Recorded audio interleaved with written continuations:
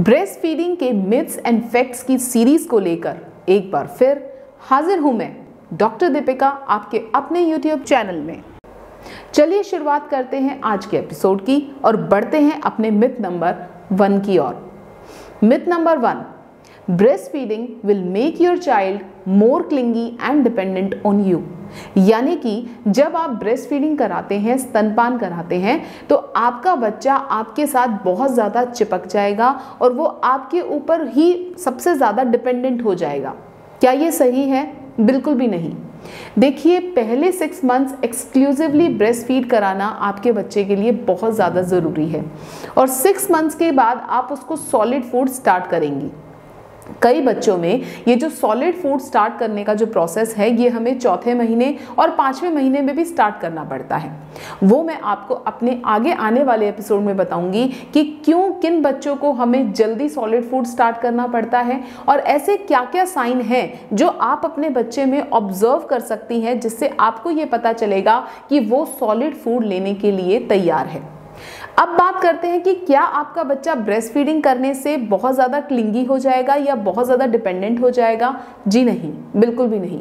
बल्कि स्टडीज़ ये दिखाती हैं कि जो बच्चे ब्रेस्ट फ़ीड करते हैं, वो लेटर लाइफ में, अपने आगे जो लाइफ उनके आने वाली है, वो और भी ज़्यादा डिपेंडेंट होते हैं। ब्रेस्ट फीडिंग कराना तो बहुत ज़रूरी है। और देखिए, जब हो सकता है कि आपका बच्चा स्टार्टिंग के जब दो तीन महीने, पहले दो तीन महीने होते हैं तो आपका बच्चा जल्दी जल्दी फ़ीड करे। क्योंकि उस टाइम पे जो आपके बच्चे का जो डाइजेस्टिव सिस्टम है, वो बहुत ज़्यादा डेवलप नहीं हुआ है। इसलिए हो सकता है कि आपको हर डेढ़ घंटे में या दो घंटे में आपको अपने बच्चे को फ़ीड कराना पड़े। साथ ही साथ उसकी जो रात का जो स्लीपिंग पैटर्न है, वो तीन महीने तक या कई कई बच्चों में चार महीने तक डेवलप नहीं होता। कई बच्चे रात में भी हर दो घंटे में, हर तीन घंटे घंटे में जगते रहते हैं। लेकिन चार महीने का होते होते आपका बच्चा जो है वो रात में सोने लगेगा, एक लंबे स्ट्रेच में सोएगा, तीन चार घंटे की हो सकता है वो इकट्ठी नींद निकाल ले और जब दिन के टाइम पे भी आपका बच्चा जो है, ज़रूरी नहीं है कि हर दो घंटे में वो फ़ीड करे। और दूसरा, ये भी ज़रूरी नहीं है कि आपका बच्चा आपके ऊपर ही डिपेंडेंट हो। हाँ वो डिपेंडेंट तब हो सकता है जब आपका जो परिवार है, हो सकता है आप न्यूक्लियर फैमिली में रह रही हो, या हो सकता है कि आपके घर में आने जाने वालों की जो लोग लोग हैं वो बहुत ज़्यादा कम हो, या आप अपने बच्चे को बाहर का एक्सपोजर नहीं दे रही हो। तो ऐसा हो सकता है कि आपका बच्चा सिर्फ़ आपके साथ ही क्लिंगी हो जाए। लेकिन अगर आप अपने बच्चे को बाहर लेके जाती हैं टाइम टू टाइम उसको बाहर का एनवायरनमेंट से उसको एक्सपोज करती हैं, लोगों से उनको मिलने जुलने देती है तो वो आपके ऊपर डिपेंडेंट बिल्कुल भी नहीं होगा चलिए बात करते हैं अपने मिथ नंबर टू की। मिथ नंबर टू मॉम्स और mothers who take anti depressant के नॉट फ़ीड देयर चाइल्ड यानी कि जो माँ आप एंटी डिप्रेसेंट्स ले रही हैं, जो माँ डिप्रेशन में है और उसके लिए उनको दवाइयाँ लेनी पड़ रही है, वो अपने बच्चे को स्तनपान नहीं करा सकती ब्रेस्ट फीडिंग नहीं करा सकती। ऐसा बिल्कुल भी नहीं है।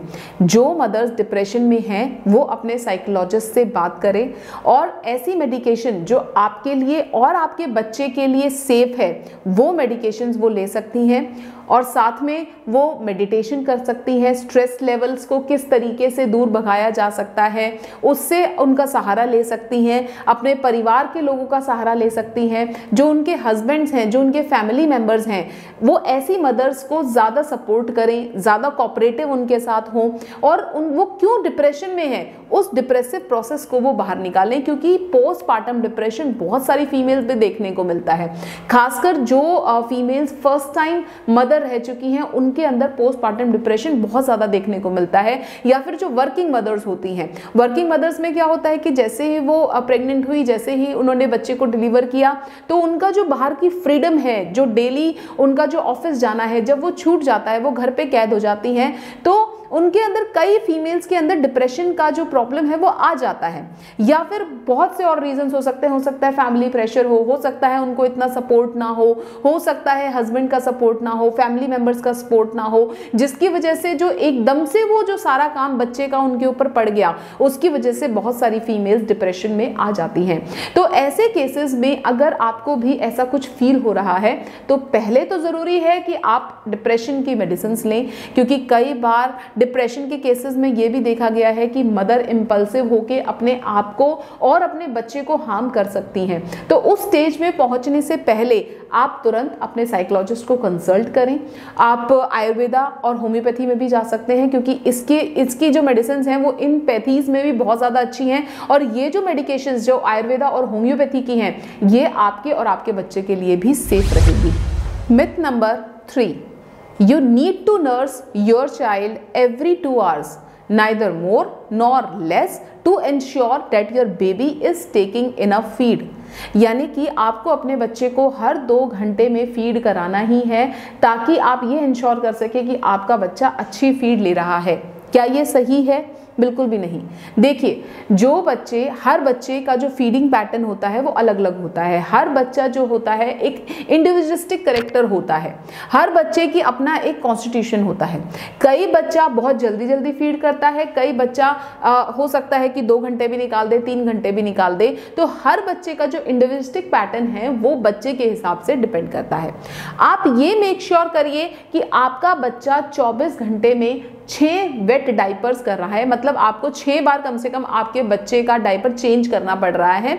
सेकेंड वो कम से कम दो से तीन बार या दिन में एक बार कम से कम या तो वो पॉटी करे या तो वो सुसु करे। और आपका जो बच्चे का जो पूप का जो करेक्टर होगा, हो सकता है वो कई बार सीडी भी हो सकता है मतलब उसके अंदर दाने दाने भी आपको दिख सकते हैं, वो भी बिल्कुल नॉर्मल है। तो अगर आपका बच्चा सिक्स वेट डाइपर्स या फिर दो से तीन बीच में वो पूप कर रहा है तो इट मीन्स आपका बच्चा इनफ फ़ीड ले रहा है और ये ज़रूरी बिल्कुल भी नहीं है कि आप अपने बच्चे को हर दो घंटे में फ़ीड कराएँ। Myth number four breast feeding will make your breast loose it will make your breast saggy मतलब ब्रेस्ट फीडिंग से जो आपकी जो ब्रेस्ट है वो लूज हो जाएगी सेगी हो जाएगी, यानी कि ढीली हो जाएँगी। क्या ये सही है?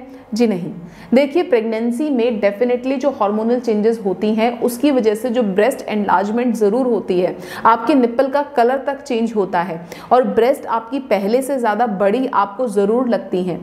और जब आपका डिलीवरी हो जाती है तो उसके बाद जो आपके ब्रेस्ट के अंदर जो ग्लैंड्स हैं, उसके अंदर मिल्क प्रोडक्शन होना शुरू हो जाता है। और मिल्क प्रोडक्शन होने की वजह से आपकी ब्रेस्ट आपको सोलन लग सकती है। लेकिन जैसे ही आप अपने बच्चे को सॉलिड फ़ूड स्टार्ट करेंगे तो आपकी जो ब्रेस्ट है, वो अपने प्री प्रेगनेंसी जो साइज़ है, उसमें डेफिनेटली आ जाएगी। Myth number five there is not enough milk in the first two to three days after delivery यानी कि पहले दो से तीन दिन में आपकी ब्रेस्ट में से इनफ मिल्क नहीं आता है। डेफिनेटली नहीं आता है, क्योंकि आपका बच्चा जो है इतने सारे मिल्क को हैंडल कर ही नहीं पाएगा, क्योंकि जो उसकी किडनीज हैं वो बहुत ज़्यादा फंक्शनल नहीं है। तो उसकी किडनीज जो है वो इतने सारे फ्लूड को जो है वो रिफाइन नहीं कर पाएँगी, इतने सारे फ्लूड को वो हैंडल नहीं कर पाएँगी।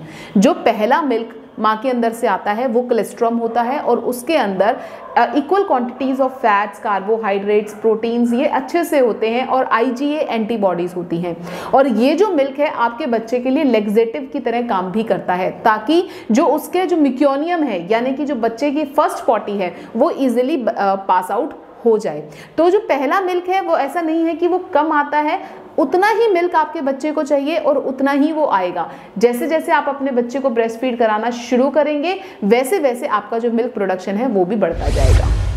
मिथ्स एंड फैक्ट्स का ये सिलसिला हम अपने आगे आने वाले एपिसोड्स में जारी रखेंगे।